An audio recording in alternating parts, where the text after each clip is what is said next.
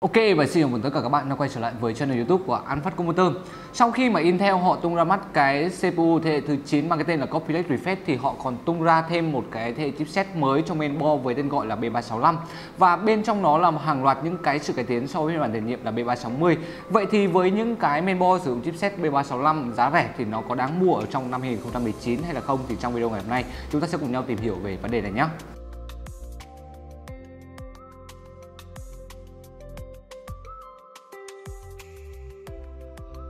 Ở cái thời điểm khi mà chiếc chipset này nó mới được ra mắt thì các bạn sẽ có rất là ít những cái sự lựa chọn về mainboard của các hãng OEM chủ yếu là của Asus cũng như là của ASRock tuy nhiên, tính đến thời điểm hiện tại thì các bạn đã có rất là nhiều những cái sự lựa chọn, ví dụ như là của MSI hay là của Gigabyte. Và để tìm được chiếc mainboard có mức giá rẻ nhất thì mình đã lên trang chủ của An Phát Computer và tìm đã được hai chiếc mainboard là chiếc B365M D2V và chiếc B365M DS3H tuy nhiên, xét ở trên cái tiêu chí là chiếc mainboard có mức giá rẻ nhất thì mình đã chọn chiếc mainboard B365M D2V này để làm video gửi đến cho các bạn. Với giá bán của chiếc mainboard này thì nó sẽ chỉ bằng so với một số những cái mainboard dòng H110 của Gigabyte vậy nên các bạn sẽ không thể nào đòi hỏi quá nhiều về cái mặt thiết kế ở trên chiếc mainboard này được. Đầu tiên thì anh em sẽ bị cắt giảm một số thứ, ví dụ như cái phần tản nhiệt cho VRM này. Tiếp đến, đó chính là cái phần giáp I/O và cái vị trí bị cắt giảm thứ ba đó chính là về cái phần heat sinh tản nhiệt cho chipset. Thì ở đây các bạn sẽ không có một bất kỳ một cái logo của Gigabyte hay dòng chữ Aorus ví dụ ở đây mà các bạn sẽ chỉ có một cái phần heat sinh màu đen. Nó sẽ có thêm một số cái khe rãnh để có thể đón gió vào để tản nhiệt cho cái phần chipset ở trên chiếc mainboard này.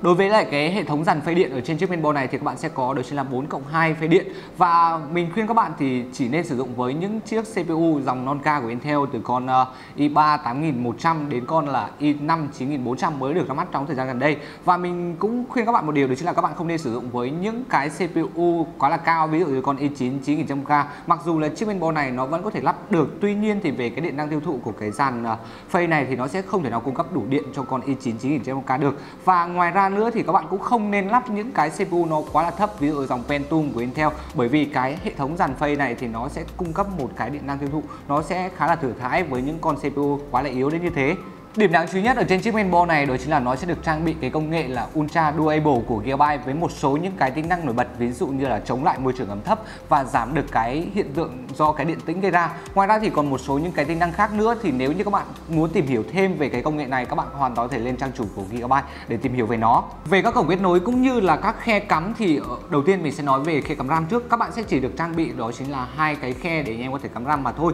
Và dung lượng tối đa mà chúng ta có thể nâng cấp ở trên chiếc mainboard này là 32 GB RAM. Mình biết là các bạn sẽ nói đó chính là các bạn chỉ cần bỏ thêm 200k nữa để chọn cái phiên bản đó chính là DS3H với cái việc nâng cấp tối đa đó chính là 64GB RAM. Tuy nhiên thì với những người lựa chọn chiếc mainboard này thì nó đã có một mức giá quá là rẻ rồi và mình biết đối chính là cái điều kiện kinh tế của các bạn cũng không quá dư giả. Vậy nên cái việc mà anh em nâng cấp được 32GB ở trên chiếc mainboard này, theo mình thấy nó là một con số đủ để có thể đáp ứng với cái nhu cầu cũng như là cái túi tiền của anh em. Tiếp đến thì mình sẽ nói về cổng M2 ở trên chiếc mainboard này thì ngoài cái việc các bạn có thể gắn được những cái ổ SD NVMe về cái tốc độ suy dữ liệu cao thì ngoài ra thì với ổ M2 này nó có được trang bị cái công nghệ là Intel Optane, giúp cho anh em có thể tiết kiệm được cái khoản chi phí khi mà anh em sử dụng combo Intel Optane và à, HDD thông thường mà cái tốc độ suy dữ liệu của nó cũng không thua thiệt quá là nhiều so với những cái ổ NVMe hay thậm chí đó chính là những cái ổ SD SATA 3 thông thường. Ngoài ra thì đối với những cái khe cắm cũng như những cái cổng kết nối còn lại thì ở trên chiếc mainboard này nó cũng rất là giống so với những cái mainboard thông thường.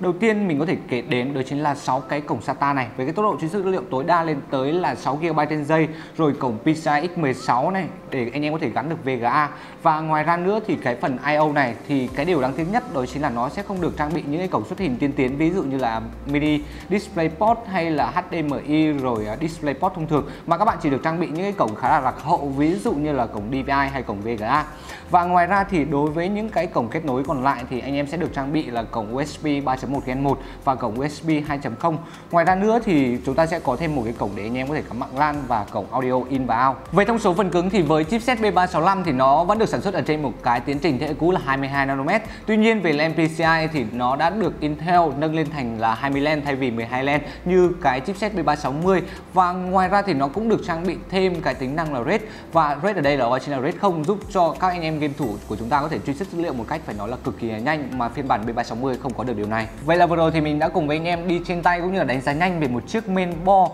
sử dụng chipset B365 của Gigabyte đang có mức giá cực kỳ rẻ ở trên thị trường. Tuy nhiên thì nó vẫn có thể đáp ứng đủ cho anh em về cái lượng điện năng và cái hiệu năng cho những cái CPU thế hệ 8 cũng như thế hệ 9 của Intel từ con i3 8001 đến con i5 9004 một cách cực kỳ ngon lành. Và ngoài ra thì với việc sử dụng chipset B365 nó còn được trang bị thêm cái công nghệ là Intel Optane mà ở trên những cái mainboard dòng H không có được điều này. Và đó là toàn bộ những gì mình muốn gửi tới cho anh em về chiếc mainboard này. Các bạn cảm thấy như thế nào thì đừng quên để lại ý kiến comment ngay bên dưới phần bình luận cho mình cũng như các bạn xem video này biết. Còn video của mình đến đây là kết thúc. Các bạn xem video cảm thấy hữu ích đừng quên like, share video này và nhớ ấn vào nút đăng ký để theo dõi các video mới nhất của chúng mình tại channel YouTube của An Phát Computer. Còn bây giờ xin chào và hẹn gặp lại các bạn ở trong những cái video kế tiếp.